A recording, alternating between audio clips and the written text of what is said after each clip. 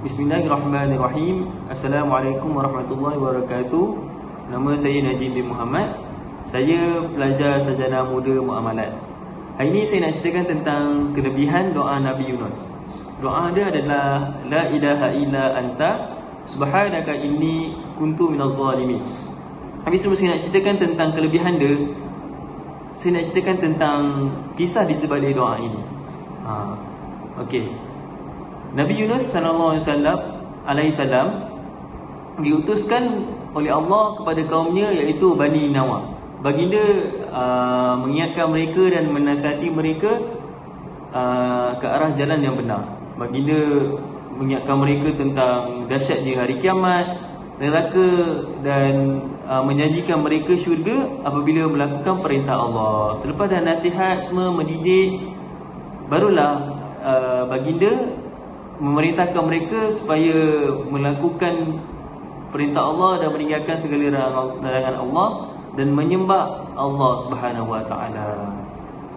Namun tak ada seorang pun daripada kaumnya yang uh, ikut perintah itu. Dan tibalah satu hari Nabi Yunus uh, rasa marah sebabkan tak ada seorang pun nak ikut perintah itu. Dan selepas itu Allah menurunkan wahyu kepada kaumnya iaitu Nabi Yunus menyampaikan uh, Allah akan menurunkan azab kepada kaumnya. And then kaumnya tak tidak percaya juga. And then Nabi Yunus dengan berasa marah pergi ke tepi pantai untuk meninggalkan kaumnya.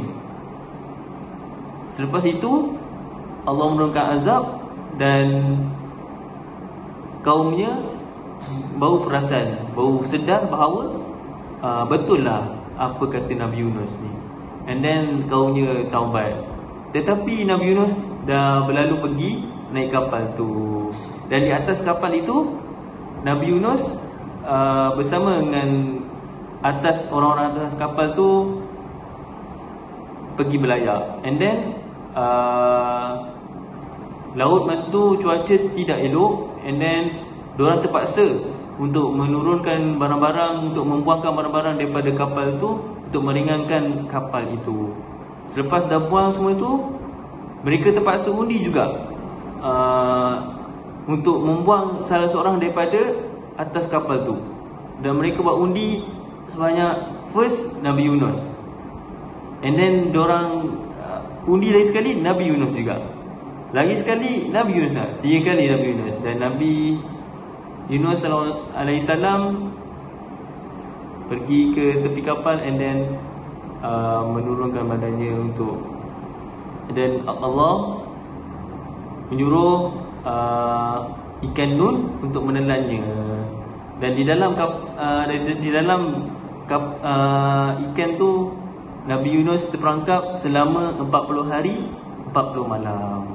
Di situlah Nabi Yunus doa ini dibaca oleh Nabi Yunus La ilaha illa anta subhanaka inni kuntu. Yang bermaksud tiada Tuhan selain Engkau.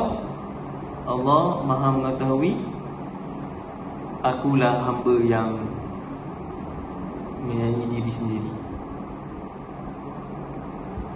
Dan selepas itu Nabi Yunus selepas 40 hari 40 malam Nabi Yunus keluar daripada uh, dimuntahkan dikeluarkan daripada mulut ikan dun tu di tepi pantai pada waktu asar.